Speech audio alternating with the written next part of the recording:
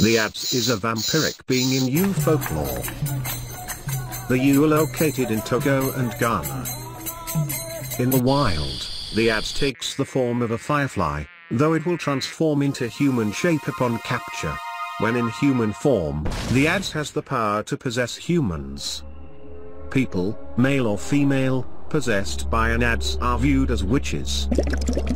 The Adze's influence would negatively affect the people who lived around their host.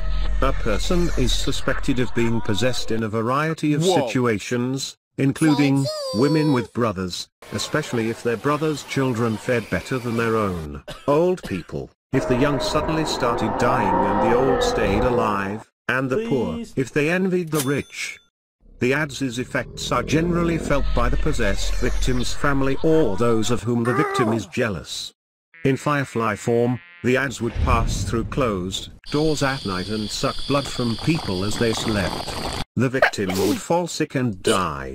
Tales of the creature and its effects were probably an attempt to describe the potentially deadly effects of mosquitoes and malaria. There is no defense against an Adze,